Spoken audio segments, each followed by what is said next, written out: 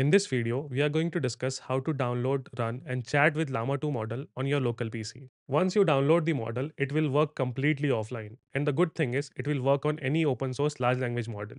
Also, we are going to use LM Studio for this. So let's begin. So first of all, you need to go to this website lmstudio.ai and you need to download this LM Studio tool. So this is a tool by which you can interact download and search for all the open source model on the Hugging Face. I am using M2 Mac, so I will click on this and I will download this. I have already installed this. You can click and install whichever is suitable for your operating system.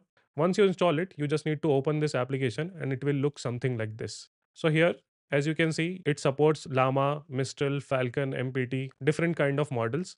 And we can search here as well. So let me search Llama 2 here. So if I search for Llama 2, it should give me results. Yes. So here the block llama 2 7b chat ggml. So right now we are not using the models directly from the meta.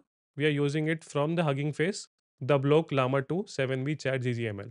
Once you click on this model, you can see on the right side, there are different version of this model available in the quantized form. So quantized is basically the reduced size form of the same model. So here I have downloaded the quantized 4 model for this Llama 2 7B chat. Here I'm using this chat model. And if you click on this model card, it will open up this website which is hugging face and we are using this model. So if you know any model from hugging face which you want to use you can search it here and it will appear. So right now we will just go with this quantized 4 so i have already downloaded it.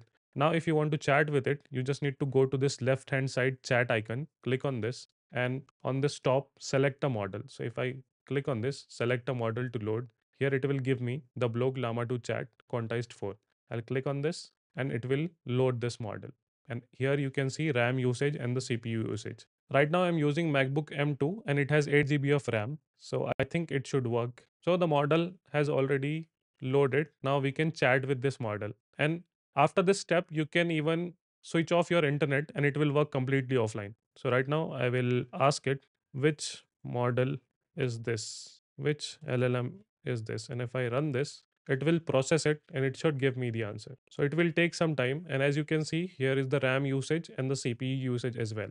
On the bottom right if you can see there is a context overflow policy. If you click on this you can change these settings as well. So as there is limit to the context length of the llm you can change this setting based on however you want. Stop at a limit keep the system prompt and the default and the first user message truncate the middle. So if you click on this it will truncate the middle part of the conversation. It will only remember the first part and the recent part of the message and if we click on this third point, maintain a rolling window and truncate past messages, it will maintain the rolling window. It will only remember the recent messages, recent context, and it will forget the initial ones. Yep. So as you can see, the model has already started giving me the answer to my question and the CPU usage is also getting more and more. So here it is telling me, hello, I am happy to help you with any question, but it needs more context. What do you mean by LLM? So actually it does not know what it's very strange that LLM model does not know what LLM means actually, but we can ask any other question as well. Also, you can click on this export as a screenshot and it will give you this conversation as a screenshot. So right now I'm using a screen recording software as well. And also this model is also very heavy. So it is my system is getting a little bit laggy.